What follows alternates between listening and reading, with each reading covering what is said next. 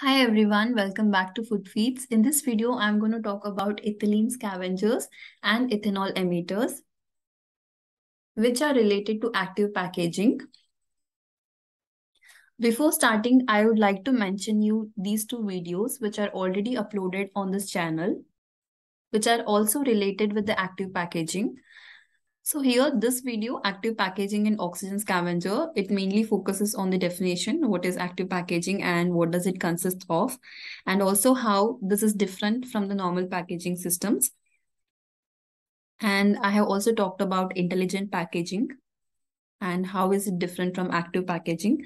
And then I have spoken about oxygen scavengers, why we need to remove the oxygen and how it is removed that is the methods to remove the oxygen uh, to insert the oxygen scavengers or remove the oxygen. And also about the companies which are using this oxygen scavengers.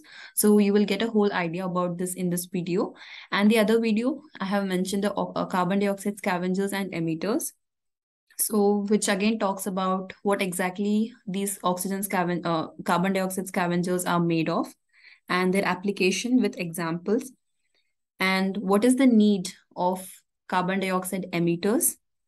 And the application part of both carbon dioxide emitters and scavengers and also the companies involved in this which are using the scavengers and emitters. So please do watch these two videos so that you get the continuity of for this video as well. And i hope you have pen and paper with you so that you can jot down the notes as we progress through the video and by the end of the video, you have studied this particular topic and also have the notes that you can use for the exams. So let's begin with knowing what exactly is ethylene. Ethylene is basically a plant growth regulator that accelerates the respiration rate and subsequent senescence of horticulture products like fruits, vegetables, and flowers.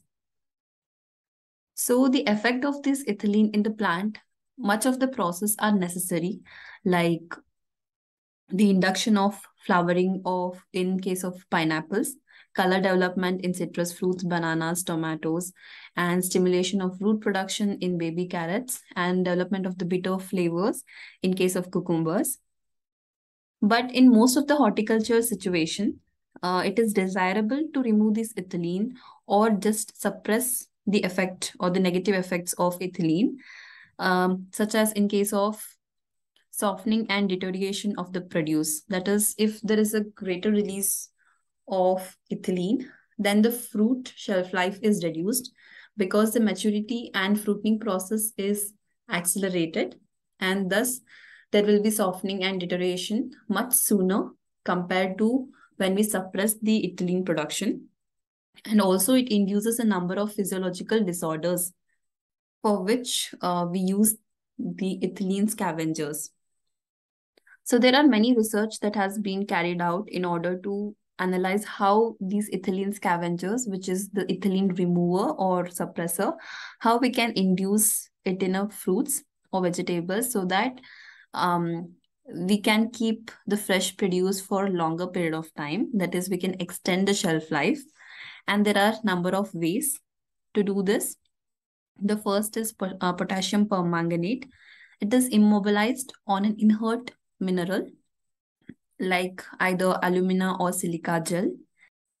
So the second option is using films which are impregnated with powdered pumice stone. And the third one is a zeolite in the packet. We can just add it.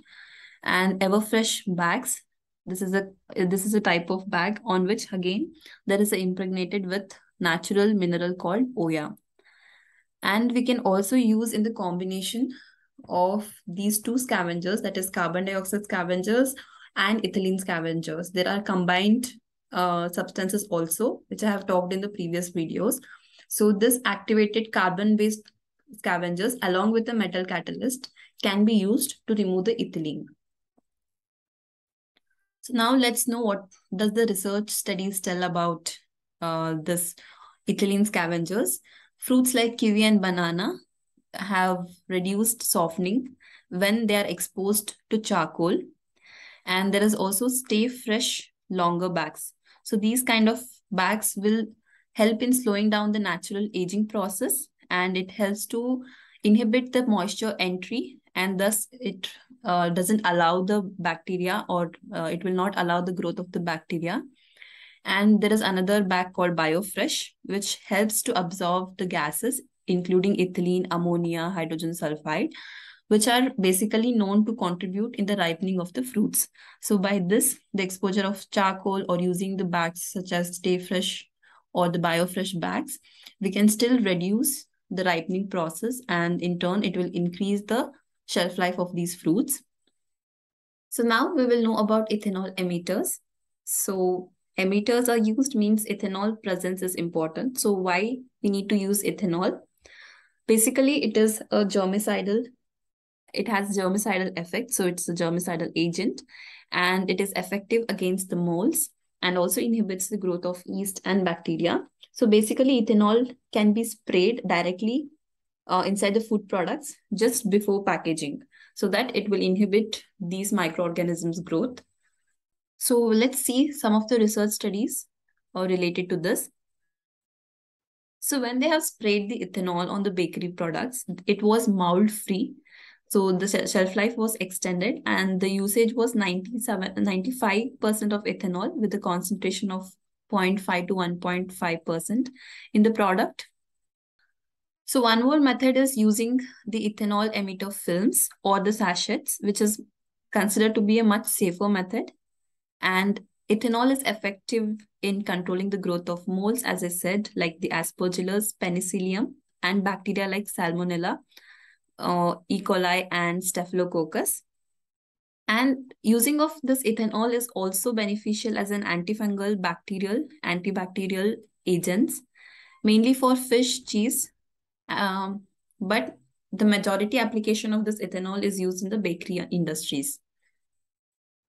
And these ethanol emitting films and sachets, which I mentioned, have been patented by the Japanese manufacturers.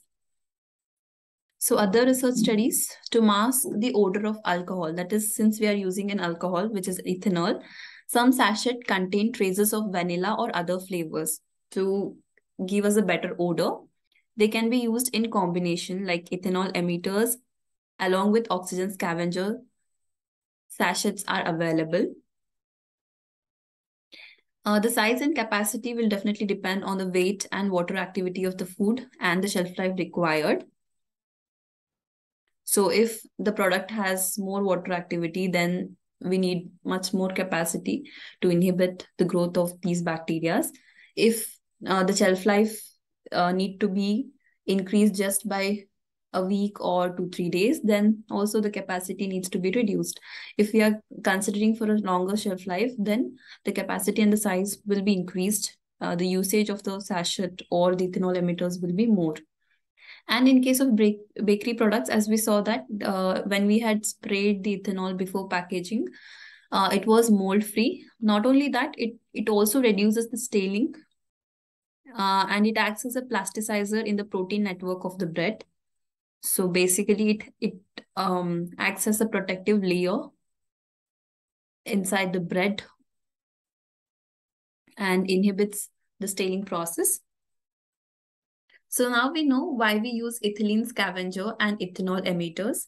Ethylene will fasten the ripening process of fruits and thus we need to reduce or remove ethylene from a product whereas ethanol acts as an antifungal, antibacterial agent, and hence we need to emit it into the uh, food product so that it can extend the shelf life. And how we do it, there are examples given. Either it is in combination with the other scavengers or emitters, or in the sachet form, or either we will spray them, or we can use it in a combination with the chemicals like potassium permanganate in case of ethylene scavengers, zeolite. So this is how they are used and the need of these scavengers and emitters. So I would like to remind you again, you can go through these two videos. They are really short videos and you can just uh, get more information in the short duration of the time.